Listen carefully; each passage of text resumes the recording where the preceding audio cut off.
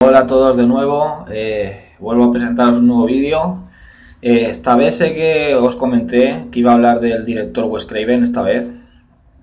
Como estaba hablando de los directores estos eh, del cine de terror moderno, comencé con Top Hooper, os hablé de George Romero y os dije que esta semana hablaría de Wes Craven. Pero como estamos en fechas de, de Halloween, prácticamente es Halloween ya, pues quiero comentaros un poco la saga de, películas de Halloween, que son muy... una saga que a mí me gusta mucho. Y bueno, qué mejor que hablar de esta, de esta magnífica saga en estas fechas. Así podéis ir viendo las películas de la saga durante esta, estas festividades o incluso el mismo día de, Halloween, pues poner una, una de las películas. La primera sería la más recomendable. Bueno, a ver, ¿cómo empiezo yo? La noche de Halloween, la primera película, es una gran obra maestra del cine de terror. O sea, es una película, pues como dije, de la matanza de Texas o La noche de los muertos vivientes. Pues eh, La noche de Halloween es la percusora de los slashers, fue la que creó el subgénero slasher. Es una película increíble, terrorífica. Hablar de La noche de Halloween y eh, ponerle admiraciones a la película es inevitable porque la película es increíblemente buena. Creó un personaje icónico dentro del cine de terror, que es eh, Michael Myers.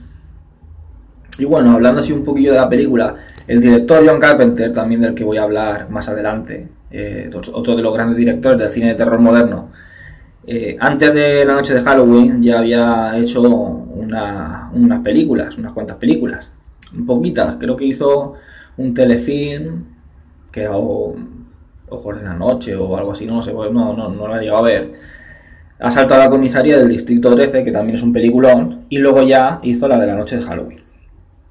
Con la noche de Halloween, eh, él tenía una idea con la, la guionista, que es Debra Hill, que no sé si llegó a ser su esposa o fue su esposa, no, no estoy muy seguro de eso. Bueno, la idea que tenían Debra Hill y John Carpenter era de, en la noche de Halloween, de cada año, hacer una película de terror diferente, ¿no? Que ambientada en esa noche, en la noche de Halloween. Y la primera que se les ocurrió fue eh, la noche de Halloween, en la que un asesino en serie eh, llamado Michael Myers, o sea, un niño, mata a su, a su hermana y al novio de su hermana.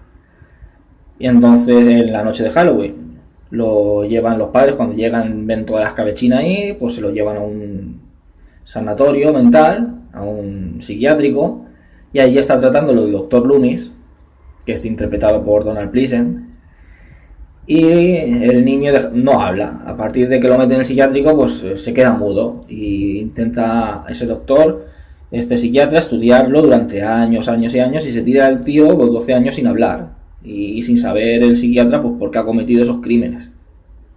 A los 12 años se escapa del psiquiátrico y vuelve al pueblo de, origen. Eh, se pone una máscara en la misma noche de Halloween y le da por seguir eh, sin motivo aparente a una joven canguro que está cuidando de un par de niños en una de las casas del vecindario, cerca de donde vive este, de, donde vivía él, el asesino. Y bueno, eh, básicamente la película es esto. Es lo que quería contar como su primera incursión eh, dentro de, ese proyecto que tenía de hacer una película basada en la noche de Halloween, eh, cada año hacer una diferente. Y esa iba a ser la primera. llegó al productor Mustafa Akkad presentándole el proyecto John Carpenter. Le dijo, mira, este es el proyecto. Y entonces, según lo que tengo entendido, John Carpenter le explicó la película plano a plano como la quería hacer. O sea, le contó la película antes de hacerla. Pues mira, ahora quiero que pase esto y va a ser así y el niño va a ir andando hacia este lado y va a empuñar el cuchillo de esta manera y luego cuando Michael Myers salga pues va a hacer esto y va a ir detrás de esta persona y se va a esconder aquí y ahora va a matar a este y ahora lo otro. Se la contó que vamos, conforme la estaba explicándosela, el productor Mustafa Akkad era como si la estuviera viendo, él mismo, la película. El caso es que vio tan claro eh, a John Carpenter, que, tenía tan claro ese proyecto en su cabeza, lo vio tan, tan decidido y como y sabía lo, que quería en cada momento, que dijo, joder, este tío sabe realmente lo que quiere y la idea, pues según me la está contando, es muy buena y muy prometedora. Ya había hecho antes una película muy buena, que era eh, Asalto a la comisaría del Distrito 13, pues entonces, ¿por qué no darle para hacer la película, darle el presupuesto. Pero Mustafa Akkad puso un par de condiciones. Dijo, mira, te voy a dar solamente 300 mil dólares. Presupuesto muy, muy chiquitito, muy pequeño. Y tienes que acabar la película en tres semanas. Más no, solamente en tres semanas tiene la película que estar hecha. John Carpenter accedió y es más, tardó menos. En dos semanas ya tenía la película terminada. Eh, así, anécdotas de la película. El personaje de Donald Pleasant, por ejemplo, el del Dr. Loomis, en un principio John Carpenter eh, pensó en Christopher Lee. Lo que pasa que, claro, eh, Christopher Lee en, en, aquella época pues tenía un caché muy alto. Era un icono del cine de terror y tenía un caché muy elevado. Y el único dinero que podía pagar John Carpenter era 50 mil dólares al actor que interpretara al Dr. Loomis. Christopher Lee pues rechazó el papel. Y después de Christopher Lee fue a Peter Cushing, que también era otro de los grandes iconos del terror de aquella época, y pasó lo mismo. También le pareció que era muy poco dinero y rechazó el papel. Y luego ya pues lo accedió Donald Pleasant, que hizo un papelón estupendo. Años más tarde, pues Christopher Lee públicamente se arrepintió de haber eh, rechazado el personaje y si se hubiera podido volver atrás en el tiempo, hubiera accedido por 50.000 e incluso por menos. Luego, el personaje de Michael Myers, para que veáis eh, lo poco que costó la película y lo buena que es, y, el que crearon un personaje como Michael Myers, que fue es todo un icono dentro del cine de, terror. Como lo barato que salió crear ese personaje. Lleva eh, un mono de mecánico y la máscara tan característica que lleva es una máscara que cogieron del Capitán Kidd de, la serie esta de Star Trek, de las películas de Star Trek. Pues simplemente hicieron de despeinaron así el pelo un poco, se lo pusieron así como revolotado y con un spray blanco le pintaron la máscara blanca. O sea, una máscara que creo que dijeron que costó 2 o 3 dólares, más el uniforme de mecánico. Fíjate lo poco que costó crear todo un icono del, cine de, terror que fue Michael Myers. En la película cuenta también como protagonista principal, aparte de Donald Pleasant, a Jamie Lee Curtis, que es hija de Tony Curtis y Janet Leigh, que fue la primera reina del grito, por decirlo de alguna manera, con la película de Psicosis de Alfred. Y entonces, bueno, la película, eso, ya con toda la historia, pues eh, es una película así que es, brutal, es terrorífica. La banda sonora impresionante, tiene unas escenas totalmente asombrosas. el personaje de Michael Myers es brutal.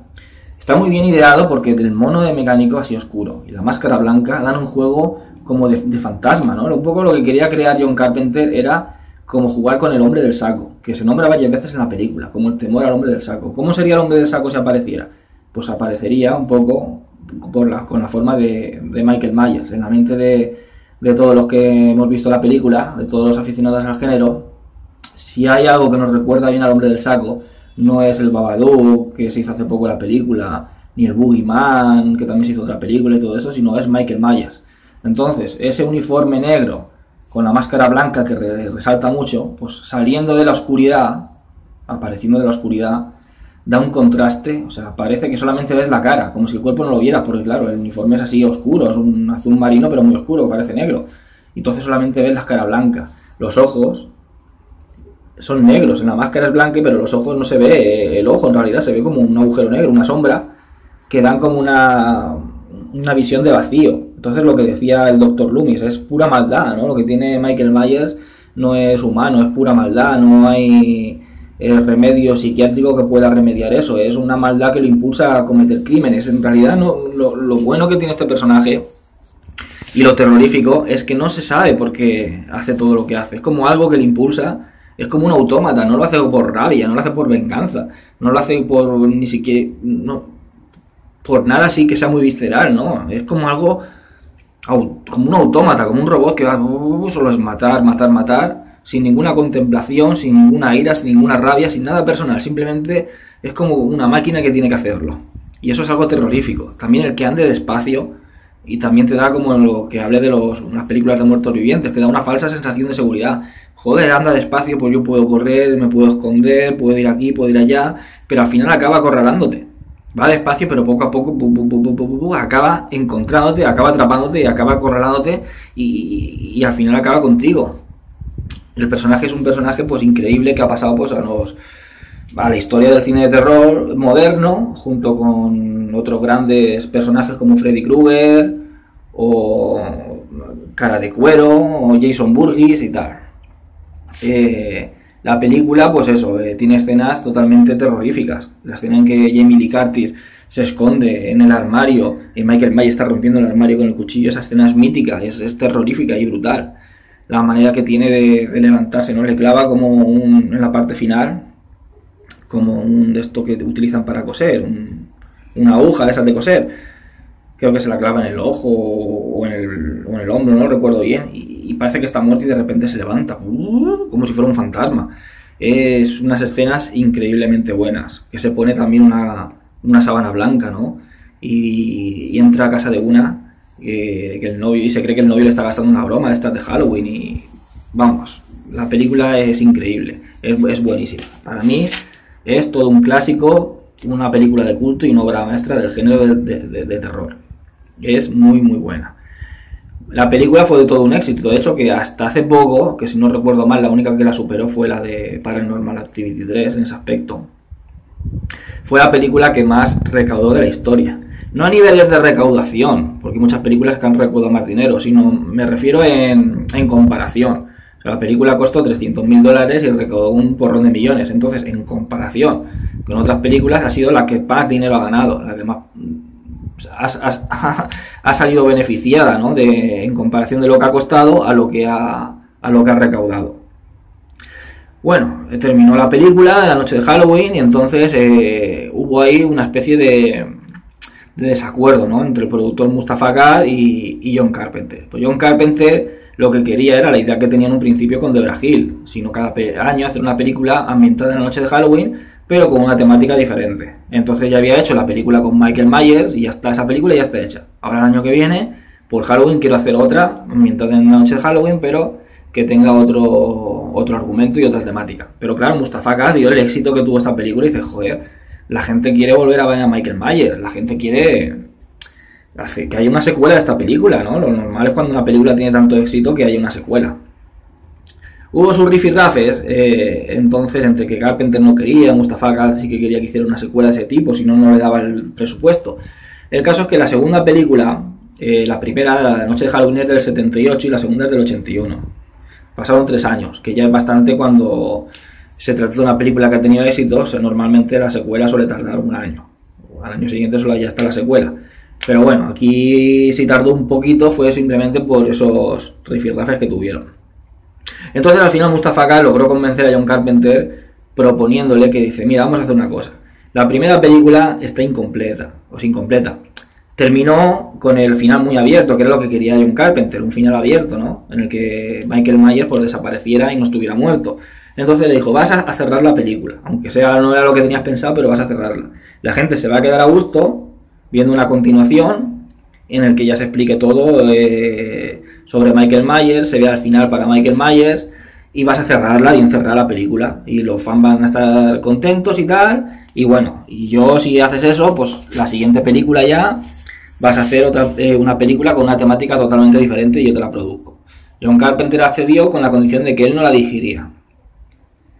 Entonces aquí también hay algo parecido a lo que pasó con eh, Poltergeist entre Top Hooper y Steven Spielberg. Dicen, el director fue Mick Harris en la segunda parte, que en, eh, España se tituló Sanguinario, a Halloween 2. Y entonces dicen que el director pues, fue Mick Harris y que el ayudante de dirección eh, es John Carpenter. La película consta como que es eso. Sin embargo, por ahí se ha oído hablar de que en realidad fue al revés, de que en realidad John Carpenter ha dirigido la película y el ayudante de dirección ha sido Mick Harris. Simplemente John Carpenter no quería estar en los títulos de crédito como director por el, bueno, porque no quería en fin, es un tipo un poco así rebelde, tuvo ya los que rifirrafes que tuvo con el productor, con Mustafa K, entonces se ve que pues dijo, pues mira, yo si quieres la dirijo, pero a mí no me pongas como director, pon al ayudante director como que la dirigió él. No sé yo el punto de verdad que tendrá esto. La película, sin embargo, sí que la ves y es que es el estilo puro y duro de John Carpenter. Es el estilo de él, parece dirigida, parece una película dirigida por él. Así que no sé yo hasta qué punto será de verdad que la, dirigiera Mick Rosenthal o, la dirigiera John Carpenter. La película está seguida directamente de la primera. O sea, tú puedes ver la primera y la segunda que parecen una película. O sea, conforme termina la primera es cuando empieza la segunda. Eh, de hecho, que aunque fue, pasaran tres años después, eh, un poco Mick Garris dijo, Mick Garris, no, perdón, Mick Rosenthal dijo en una película que, al dirigirla, bueno, pues eso, que quería que estuviera todo ambientado para que pareciera en el 78, que no se hubieran notado que hubieran pasado tres años, en fin, para que tuviera una continuidad temporal que la gente no notara la diferencia de, años, porque se supone que sucede la misma noche. Y lo consigue. O él o John Carpenter o quien sea que la dirigiera lo consigue. Es eh, una continuación seguida, es como la primera película, es una prolongación de la primera película.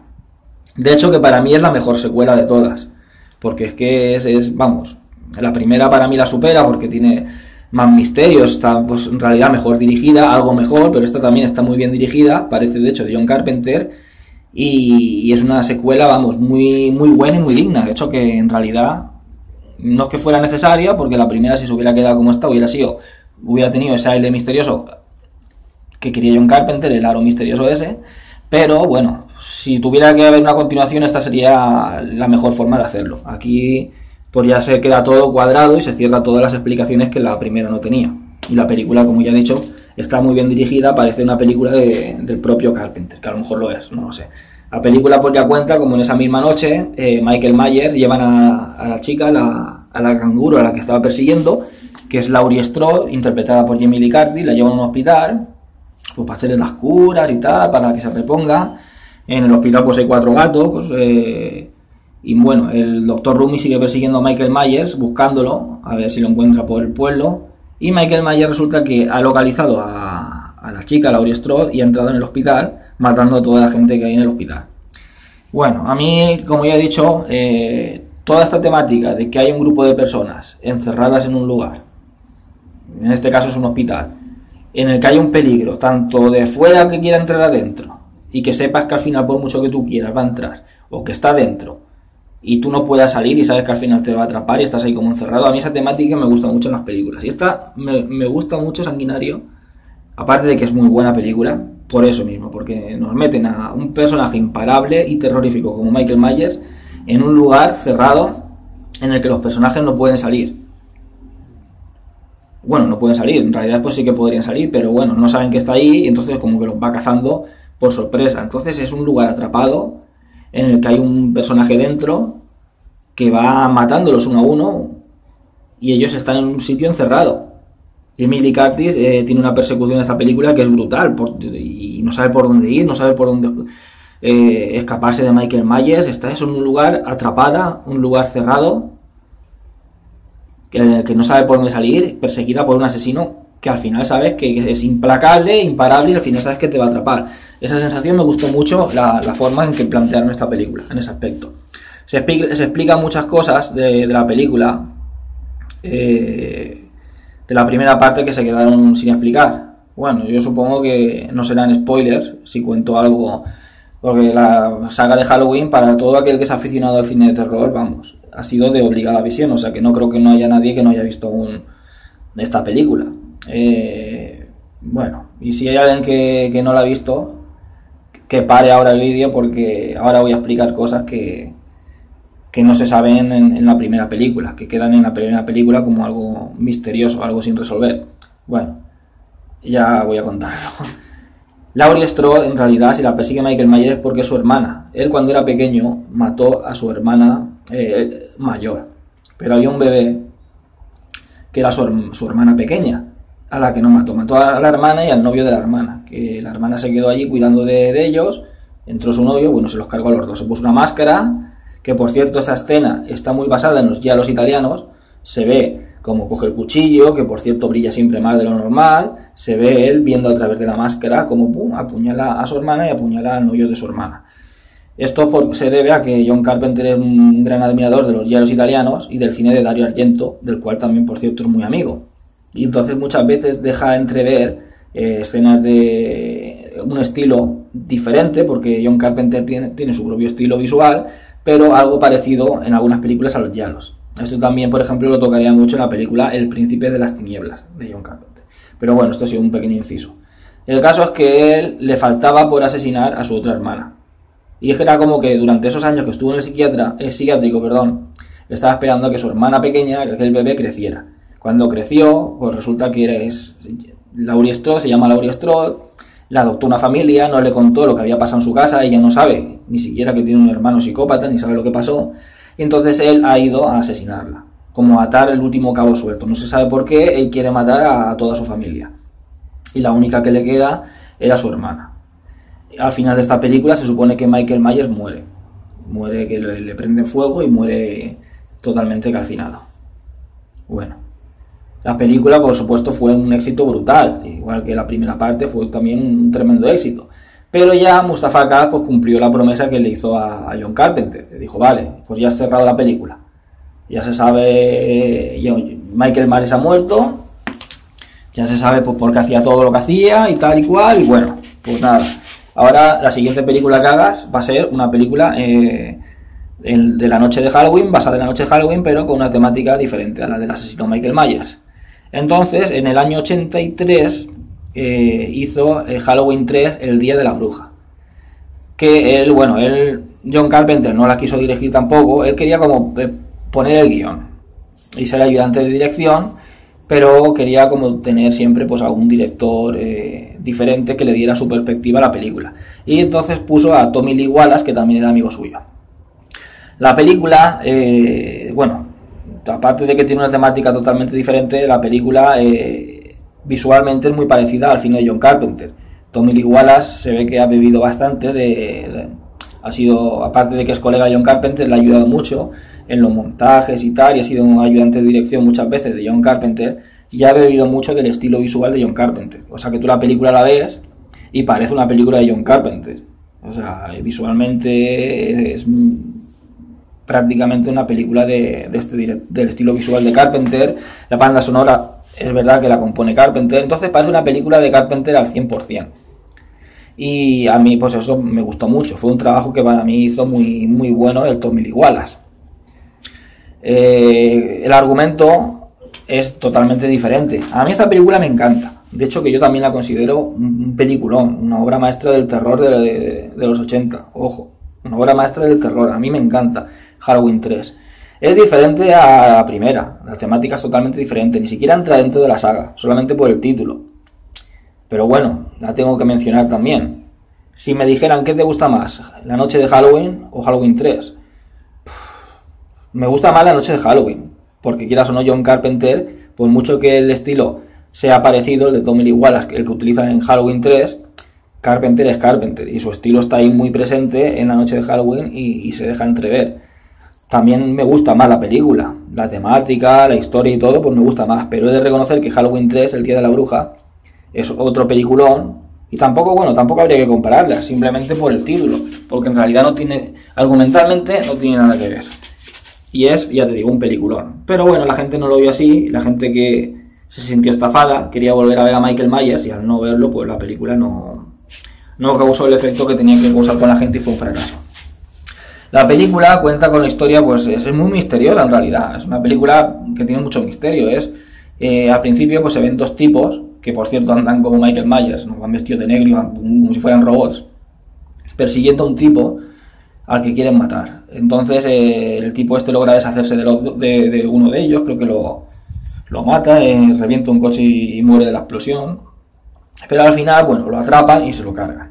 Entonces la hija de, del hombre este quiere investigar porque han matado a su padre. ¿Quién quería matar a su padre y por qué? Y le ayuda a un periodista que quiere un artículo bueno y hay una posibilidad buena de, de tener eh, de conseguir pues el artículo que desea, una buena historia. Y ayuda a la hija de, este hombre pues a averiguar quién ha podido matar a su padre y por qué.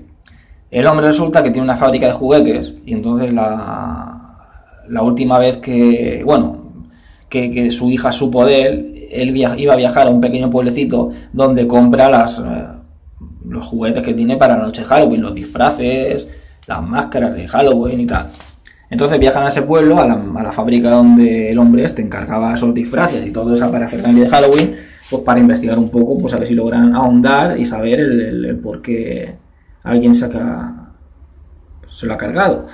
Y llegan allí, entonces, bueno, pues el pueblecito es como un pueblecito así súper terrorífico, ahí todo pequeño, en plan, no sé, parece, recuerdo un poco... La sensación de esta película es una sensación también como que tiene mucha magia. Me acuerdo yo del cine de antes que tenía como una magia especial, una aura que te envolvía y, te atrapaba, ¿no? Y esta película, igual que otras muchas, la tiene. Cuando entran al pueblo, no sé, la decoración del pueblo, el ambiente, recuerda mucho al pueblecito de la niebla también de John Carpenter. Y, parece eso, que es un pueblo en el que entras y sea como otro mundo, totalmente diferente. Un mundo del que entras y no puedes salir. Algo un poco que utilizaba mucho en sus novelas y en sus historias Howard Philip Lovecraft. ¿no? como lugares en esta tierra que están ahí pero que son diferentes, que son como paralelos a nuestro mundo. Están dentro de, este mundo pero paralelamente pertenecen a otro. Entonces entras pero no puedes salir. Y eso es un poco. Una vez entras es como que la sensación es que entras a una trampa de la que no, de la que no puedes salir. Y bueno, la fábrica esta pues con un oscuro secreto. El tipo de la fábrica pues lo mismo. Spoiler, esto que dicen. Si no la habéis visto, os la recomiendo muchísimo pero dejar de, para, de ver el vídeo ahora porque voy a desvelar... O bueno, mira, no, no hace falta. Tampoco era más necesario desvelar eh, el final de Sanguinario de la, la, parte anterior de Halloween 2 que de esta. Esta película solo voy a deciros que no tiene nada que ver, aquí no está Michael Myers, es un argumento totalmente diferente. Hay una fábrica de juguetes que esconde un oscuro misterio que este detective o periodista creo que era y la hija de, del que muere al principio van a desvelar y es un misterio súper terrorífico, muy original y bueno, la película para mí es una pasada y es un película. Pero bueno, a lo que vengo a decir, la gente con Halloween 3, el Día de la Bruja, se esperaba volver a ver a Michael Myers, era Halloween 3, una nueva entrega de Halloween. Entonces al ir al cine con la esperanza de ver a Michael Myers y de repente estar viendo la película y foto y no sale, no sale, no sale, no sale, pues la gente se sintió estafada. Dijo que la película era una mierda, que no sé qué, que no sé cuánto no era una mierda, simplemente, pues es que yo creo que la gente ni se fijó en el argumento, ni se fijó en la película, ni nada. Esperaban ver a Michael Myers y al no verlo, ya como que, ni se fijaron en la película. Dijeron, esto es una mierda, nos han engañado y tal. Bueno, pues a mí la película pues me parece un peliculón, deberían darle, haberle dado una oportunidad como película.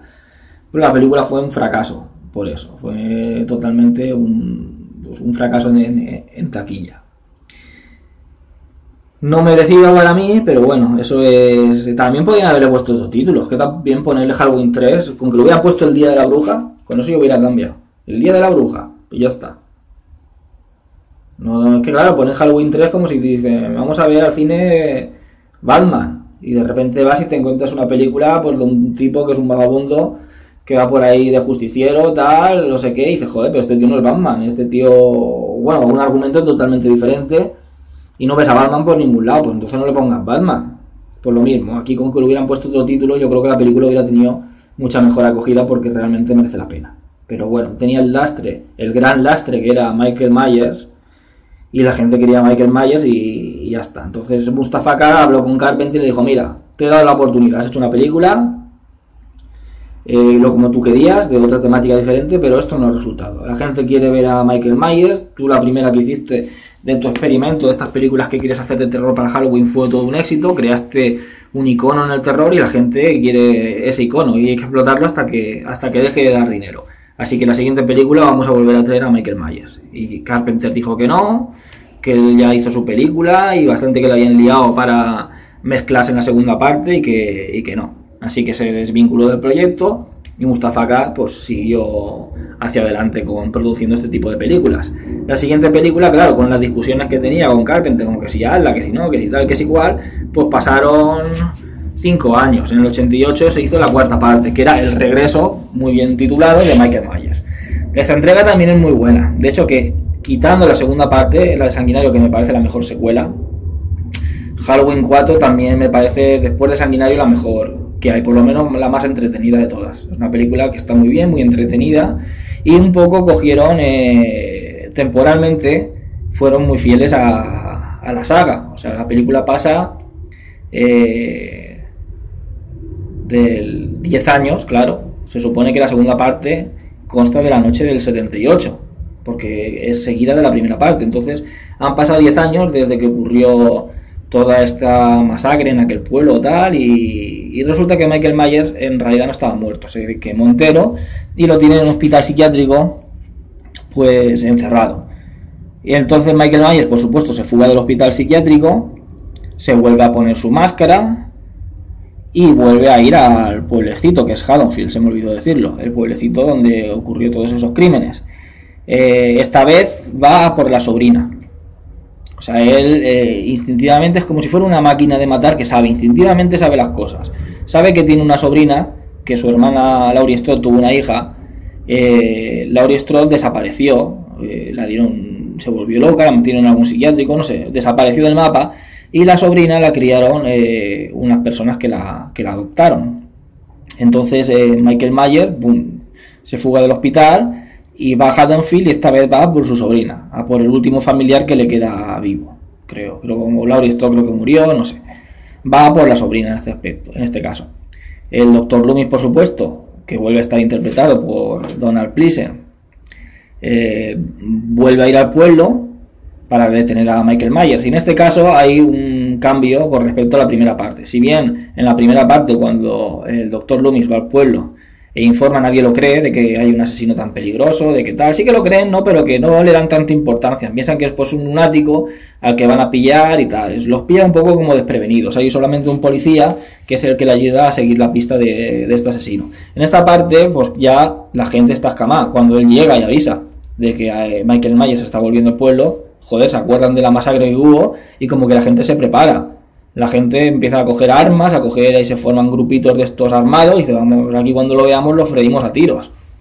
Y es un poco lo que pasa, que la gente como que se prepara más y e, esa idea también es bastante buena y lógica, ¿no? la primera vez no sabíamos que venías, pero la segunda vez sí y nos vamos a, vamos a estar armados y vamos a estar bien preparados para tu llegada. Bueno, la película tuvo bastante éxito, como ya he dicho es una secuela muy bastante buena, muy entretenida y tuvo bastante éxito, por lo tanto esta vez ya se acortó menos eh, el hacer la siguiente parte. La quinta parte, que era La venganza de Michael Myers, Halloween 5, se hizo el año siguiente, en el 89. Esta película eh, también es muy buena. A mí todas las películas de la saga de, Halloween me gustan mucho. Si bien esta es la que menos me gusta, la de la Halloween 5. Cambia un poco con respecto a las anteriores. En el aspecto es una película un poco bizarra. Me explico. Eh, pasó algo diferente a lo que pasó con la saga de, de Viernes 13.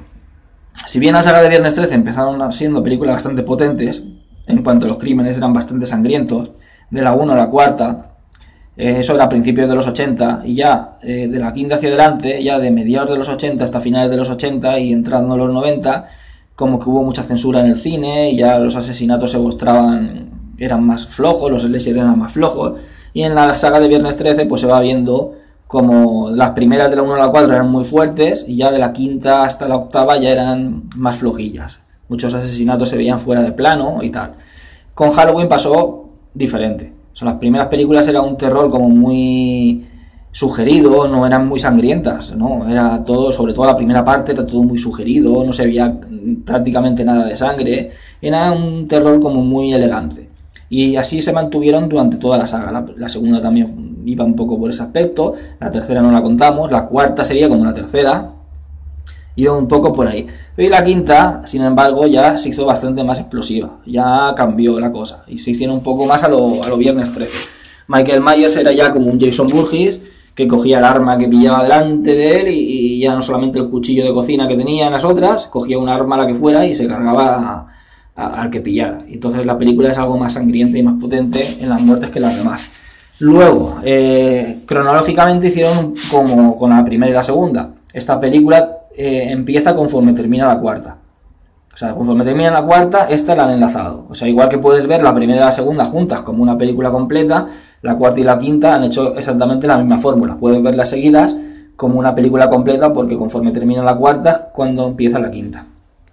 Y también digo lo que es un poco bizarra en el aspecto de que han cambiado algunas cosas.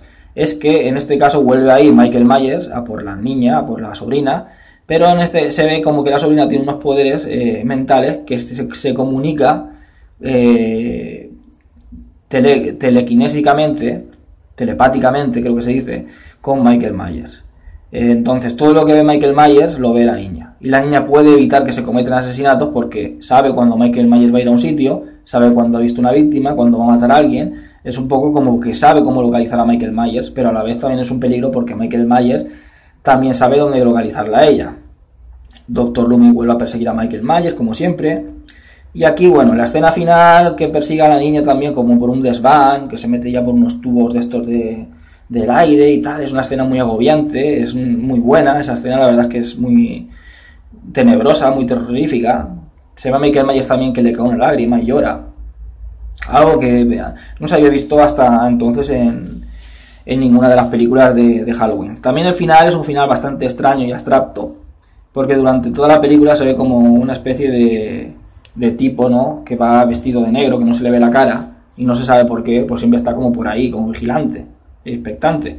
Y al final de la película, como que cuando atrapan, se supone que en esta película ya la policía logra atrapar, logra eh, coger con unas cuerdas y tal a Michael Myers, pues este tipo entra con una escopeta, empieza a matar ahí a todo el mundo, una metralleta, y se carga toda la comisaría y se lleva a Michael Myers. Y la película acaba ahí muy misteriosa, porque, tío, porque ha entrado quién es y, para qué quiere a Michael Myers. Y ahí termina. Por eso digo que es una película un poco diferente y, extraña con respecto al resto. Me gusta mucho también, si digo que es la que menos me gustó, porque a diferencia de la cuarta, esta es un poco más lenta. Si bien es más potente, tiene más sangre y tal, pero la cuarta era como más dicharachera, era más rápida, más, no sé, era más dinámica. Y esta es como más pausada, más lenta, que también está muy bien, pero como que en comparación con la anterior es como que es más un poco más lentilla y, y bueno, eso se nota, pero que la película también es muy buena. Ya no tuvo tanto éxito como tuvieron las anteriores, pues ya la gente lo, cuando ya llegan varias secuelas, pues ya se cansa, siempre lo mismo, ya un poco se habían hartado del personaje de Michael Myers, pues lo que pasa siempre. Y ya pues, esta película también tuvo pues, una recaudación, supongo que estaría bien, pero ya no como las anteriores. Así que decidieron esperarse unos años hasta realizar la, la siguiente entrega. Un poco para que la gente se enfriara en cuanto al personaje y lo volviera a coger con ganas. La siguiente entrega fue en el año 95, fueron seis años después. Se tituló eh, Halloween, la maldición de Michael Myers. Y entonces aquí va un poco, eh, aquí esta película, muchos dicen que es la peor, que es muy mala, que no sé qué. A mí me gustó bastante, yo la fui a ver al cine. Y a mí me parece una película que está muy bien y, bastante buena. Lo único que tiene, que es el único pero que le pongo, es que explican demasiado. Y si el, bien el misterio que tiene Michael Myers es el, que no se sepa tanto sobre él, el por qué mata, el por qué hace las cosas que hace. Y aquí un poco se explica todo. Está muy bien explicado y para mí está muy bien resuelto el tema ese pero no sé, le quitan un poco el, aire misterioso que tenía. En esta película sigue la onda de la quinta parte en cuanto a muertes y sangre, también es más, más potente que las anteriores y más sangrienta. Y bueno, la película se supone que el tipo que cogió a Michael Myers en la anterior película era un, líder de una secta que sigue unas tradiciones de los antiguos druidas. Y se explica entonces el por qué Michael Myers asesina de esa manera porque es tan imparable, porque a veces le disparan, le prenden fuego y tal, y el tipo no muere nunca. Resulta que los druidas, otra vez, spoilers, los druidas eh, tenían unos ritos en el que cuando se alineaban los planetas en una posición indicada, ellos lo sabían, cada cierto tiempo se alineaban en esa posición, entonces ahí el niño que naciera iba a nacer como si fuera una máquina imparable de matar imparable, que iba a matar sin ningún motivo aparente a todo el que pillara y iba a ser una persona indestructible. Y ese niño iba a nacer precisamente para proteger a esa tribu. Mataría a todos menos a los de la tribu. Eliminaría a todo el que pillara por medio, pum, pum, pum, pum, pum, y se los cargaría, vamos, a cualquier enemigo que tuviera la tribu. Sería como una máquina que tenía la tribu para defenderse de sus agresores. Entonces, esta secta aún sigue creyendo en esos ritos druidas y lo que hace es recoger bebés que han nacido en, esas fechas en las que los planetas se han alineado en esa, de esa manera. Michael Myers es uno de esos niños. Entonces han capturado a Michael Myers porque piensan que ellos pueden dominarlo. Al ser de, de esa secta druida, pues piensan que pueden dominarlo y utilizarlo como una máquina. Y esos bebés que han nacido en esas fechas, pues se supone que cuando crezcan serán como Michael Myers y tendrán ahí un ejército de seres imparables y creo que, pues, que querrán dominar el mundo, no sé qué historia. Tampoco lo dejan muy claro. Y ahí es un poco eso. Pues, sueltan a Michael Myers de nuevo la noche de Halloween, ahí por la ciudad. El tío empieza a cargarse a todo el mundo. Y es un poco pues en plan de, de unas pocas personas, eh, Doctor Loomis incluido, que quieren averiguar eh, que hay detrás de, saben que hay alguien detrás de Michael Myers y quieren averiguar quiénes son estas personas y, qué, ganan, ¿no? Que consiguen con, con, tener a Michael Myers de esa manera, ¿no? Y soltándolo, ¿no? Para que asesine y tal. Bueno, como ya he dicho, la película a mí me pareció que es muy buena y tal. Y ya esta película se hicieron con los derechos la Dimensión Film, que es una productora que se dedicó a hacer solamente, exclusivamente películas de terror. Se había encargado ya de la saga esta de Scream, Vigila Llama y otras sagas de terror como Los Chicos del Maíz o Hellraiser. Y eso pues ahora se había hecho con los derechos de la saga de Halloween. La película, pues eso, tuvo bastante éxito. Y entonces la siguiente película que hicieron de Halloween fue en el año 98, que fue Halloween H20, iba a conmemorar los 20 años del estreno de la primera película, Noche de Halloween. Volvieron a contar con Jamie Lee Curtis para hacer el papel de Laurie Strode. Eh, Donald Pleasence no podía estar porque murió durante el rodaje de, Halloween 6. el hombre ya murió, o sea que fue la última en la que salió como ya no tenían a Donald Pleasence, pues decidieron traer otro personaje vinculante en la serie, como era Jimmy Lee Curtis. Entonces la película, eh, digamos que eh, el tema de la... ¿Cómo decir esto? La cronología de la saga es un poco rara. Como ya he dicho, la primera y la segunda van seguidas, como si fueran una. La tercera no cuenta. La cuarta es como si fuera la tercera. Va seguida de la quinta. Luego tenemos esta sexta. Y entonces esta Halloween H20, que sería la séptima,